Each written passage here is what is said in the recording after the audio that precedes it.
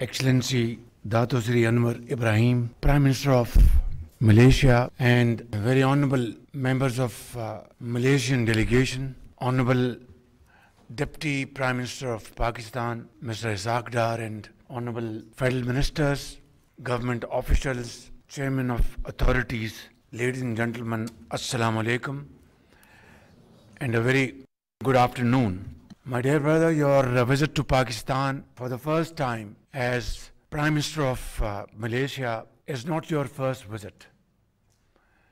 You have been to this brotherly country many times as a student, as a tourist, and of course as a minister. And your very valuable contributions are not only very fresh in our minds, but we will remember your sense of commitment of friendship to Pakistan for all times to come. My dear brother, like many great leaders which are remembered in annals of history, you are also one of them and will be remembered for ages for your struggle, your commitment to your country, your unwavering belief in providing equal opportunities to your countrymen and forging fraternal relations with Pakistan.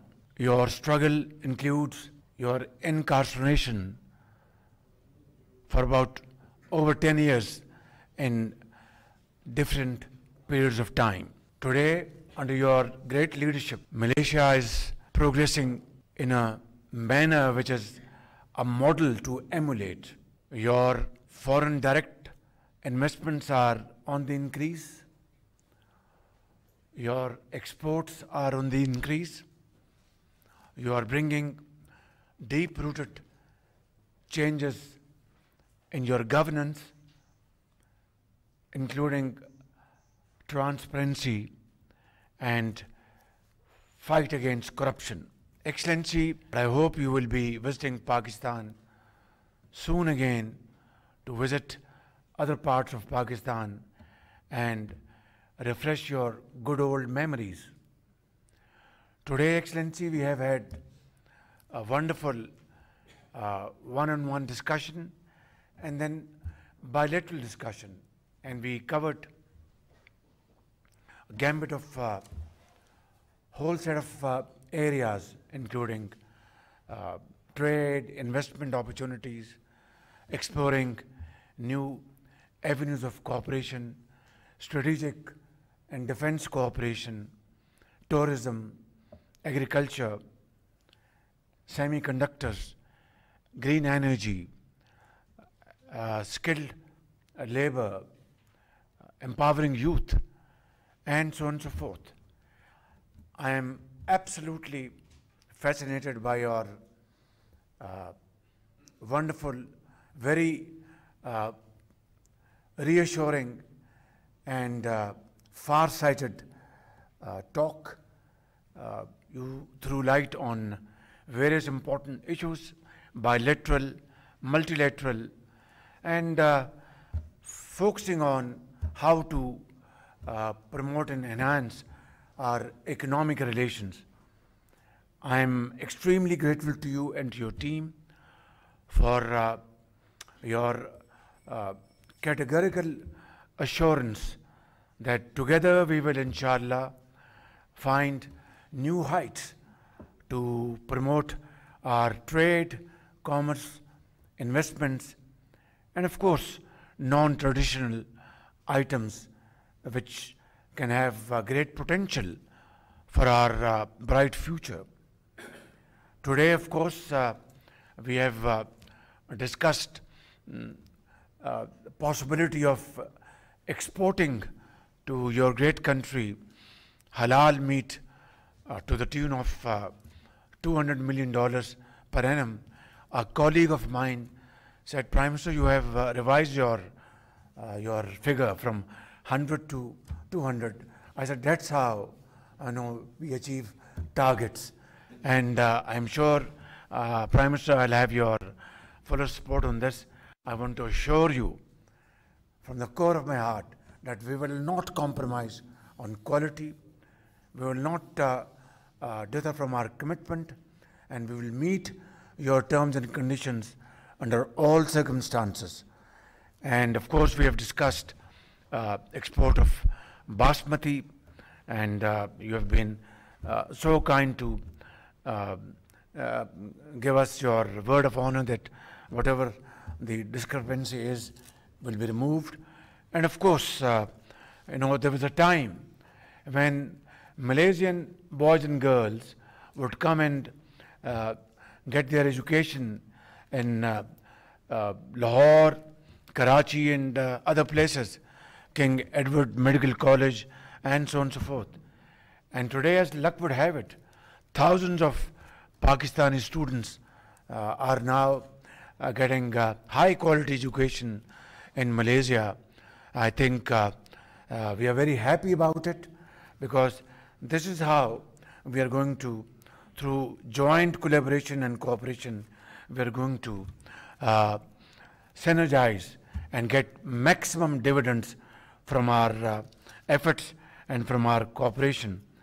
Uh, Your Excellency, uh, in defense cooperation and security cooperation, we're absolutely ready to further uh, enhance this area uh, through mutual cooperation and your desire would be my command. Finally, I would like to uh, appreciate uh, on behalf of the people of Pakistan and uh, my government and myself your uh, mm, uh, very clear and uh, very forthright stand on Gaza, oppressed people of Palestine, and of course this recent attack in Lebanon. I think our hearts, uh, you know, you know, it's very, very heart-wrenching, in fact. It's uh, heartbreaking to see this and watch this and read these stories day in and day out of innocent uh, children being martyred, uh, mothers, fathers being martyred in front of their young children, and uh, cities after cities being uh, demolished I think uh, in uh, contemporary history, this kind of uh, genocide, carnage, uh, there's no parallel to that. I hope and pray to God that uh, through our joint efforts, you know, a ceasefire uh, could be put in place as of yesterday, and peace is restored, and you know, good sense prevails upon. Similarly, the uh, uh, unsettled question of Kashmir, Your Excellency, is a matter of uh, great concern for uh, peaceful world and of course uh, Islamic world. Innocent people of Kashmir are struggling for their basic rights and still have to be given their right of self-determination they have struggled, they have paid huge sacrifices, and uh, I think thousands and thousands of Kashmiris have been martyred, and of course, uh, uh, worse kind of uh, atrocities committed against them. They have been uh, put in, in uh, third class jails, imprisoned for, for life, and given very severe punishment. Yet, Kashmiris are brave people. They have uh, withstood and they have uh, fought all these uh, uh trials and tribulations with uh, great courage. And I'm, I'm sure one day soon they will uh, get their basic right. Excellency, once again, thank you very much for your visit. God bless you. And Pakistan and Malaysian friendship. Zindabad, before I invite you, I'd like to uh, uh, recite Iqbal's, and you will uh, like this stanza, he says and says very eloquently, तमन्ना आबरू की है अगर गुलजार हस्ती में तमन्ना आबरू की है अगर गुलजार हस्ती में तो कांटों में उलझकर ज़िंदगी करने की खू कर ले और नहीं ये शान खुददारी चमन से तोड़ कर तुझको कोई दस्तार में रख ले कोई जेबे गुलो कर ले thank you very much I would like to announce that Pakistan is translating His Excellency Dato Seri Anwar Ibrahim's book titled Script into Urdu language. Script stands for sustainability, care and compassion, respect, innovation, prosperity, and trust. These six values were selected because of how they integrate together and reinforce one another. The script acronym has been translated as Madani in Malay. It is the current national policy framework serving as a resource for understanding the essentials of governance, social justice, and community building. The book will be launched as soon as the translation is completed. Now I invite Your Excellency your remarks. Assalamu alaikum wa rahmatullahi wa barakatuh. Alhamdulillah, nahmaduhu wa nusalli ala rasulil kareem. Shukriya, Prime Minister Shehbaz Sharif, for the hospitality to my delegation, for your kind remarks, for your support, and uh, not uh, merely a friendship or diplomatic uh, encounter, but for a brotherly uh, spirit shown and the love and affection as brothers. Well, I am um, a friend, a brother of Pakistan, and I think um, I, my visit is, of course, um, very meaningful to me, very personal, because it's a land envisioned by Allama Muhammad Iqbal. With his wisdom, the philosopher poet has placed in his writings, in his speeches, uh, such a vision. And, and uh, we just hope that this spirit uh, lives on in the hearts and minds not only of Pakistanis but also the Muslims throughout the world. But as I remarked, this is also the land led by one esteemed world statesman, Quaid-e-Azam Muhammad Ali Jinnah. And uh, I recall that uh, many of my speeches, lectures, I've never failed to cite some of his brilliant speeches, including the compelling case for Pakistan in his 1947 Constituent Assembly speech. Now, um, we've had extensive discussions. It's amazing. It's only through uh, not only bilateral encounter, but a trusted friendship that we can um, agree on a number of issues. And um, you have proven what uh, many of us believe very serious, very businesslike, down to earth, get things done. Thank you and, uh, I, and I don't envy your colleagues. but, but it means well for the future of Pakistan. And um, so we'll meet uh, next month in Kuala Lumpur, inshallah. The Joint Review Committee of the Malaysia-Pakistan Close Economic Partnership yes. Agreement for the Joint Commission meeting. And um, we'll follow through with my colleagues in detail in specific uh, programs uh, to make sure that those things we have agreed will be um, implemented. On the um, beef import, it shouldn't be a problem, and we will certainly look at it. Um, and, and we need, we still import. We import from other countries. I don't see any reason why we can't import from Pakistan. Thank you very uh, much. There's no issue of halal.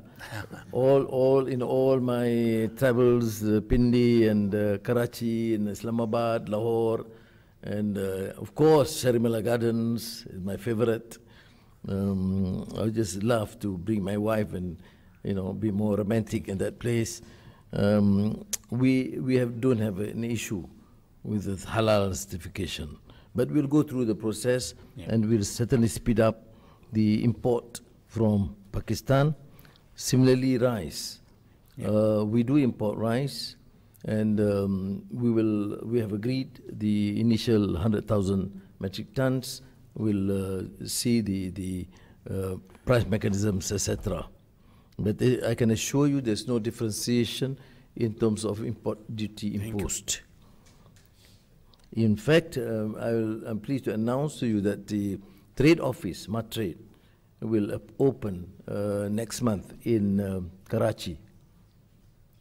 Um, on the issue of um, collaborations as skilled labor, um, we will certainly uh, look forward because um, uh, our focus on the professionals uh, required to, to uh, satisfy the new demands, uh, huge, massive investments, probably the largest in the uh, ASEAN region in terms of IT, digital, and AI.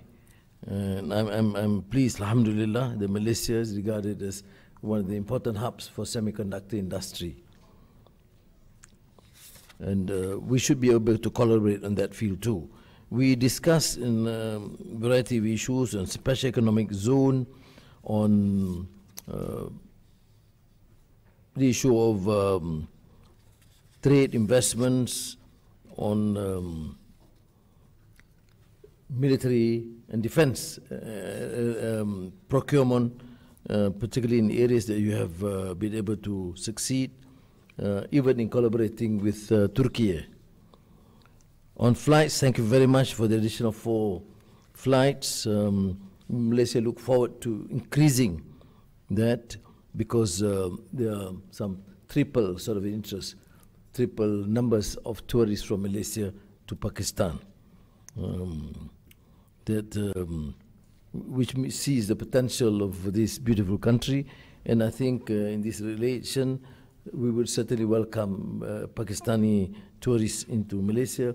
Our only advantage, uh, not only advantage, one of the key advantages is that we have warm water throughout the year to swim, Mm, as long as long as you wear something. Now, um, on EV and car, there, there are specific areas. I wouldn't dwell on these subjects because I think many of the issues have been uh, discussed and uh, we are supposed to follow through. Uh, but you did mention about the um, uh, uh, some of the international concerns. I followed your speech at the United Nations General Assembly, a compelling case to respect uh, human rights, justice all over the world, and you made a compelling case for Palestine and Gaza. And uh, we appreciate your stance, and um, it is uh, um, uh, being followed, it's viral, um, admired by many of those who believe in freedom and justice. The problem is more precarious, of course, now with the expanded and extended war or aggression into Lebanon and the continued genocide uh, into Gaza and the West Bank. Uh, we have said that this issue is not an issue of, uh, it's not a war between two countries. It is completely in, uh, intransigence and aggression, uh, disregarding all fundamental rules of international order and, uh, and the plight of the Palestinians for the seven decades now, um, dispossessed, uh, denied of their basic rights. And you have seen not only inconsist- inconsistency, but hypocrisy many so countries, so-called countries, talking about human rights and freedom, hectoring the world about human rights and freedom, but uh, certainly uh, being very selective in the decisions. On Kashmir, which you discussed, we have said clearly that we are committed to support the United Nations uh, Security Council resolution. Thank you. But the concern of uh, human rights concerns is, of course, our concern. We'll continue to voice in through channels that is uh, uh, acceptable, and and um, we we pray, inshallah, that this issue be amicably resolved. We did discuss on issues like Afghanistan, hoping to um, achieve some sort of a regimen and international recognition, uh, hoping that also that Afghan Afghan authorities and government also concede uh, and and try to make the adjustments necessary to secure peace uh, with its neighbors and also to ensure that some policies are generally acceptable to the international community, including uh, women's right to education. We discussed the need to continue our engagement with the United States of America as an important country in terms of trade, investments, and diplomatic relations, but also to accept the fact that we are an independent nation. Uh, and ASEAN, for example, ASEAN centrality um, regards the relations with our neighbors as very important, and therefore our strengthening bond of relations with China. So again, let me thank you. Um, thank you for this opportunity, and thank you for reciting this great poem from uh, Allama Muhammad Iqbal. Um, very impressive. Um, I, I know you try to convince me that you memorize some, and I don't, um, except for you know being a, a very serious uh, student uh, who uh, try and grasp uh, the values, the message, the compelling case for dignity um, that uh, is, is expounded by Allama Muhammad Iqbal. So, shukriya. Assalamu alaikum.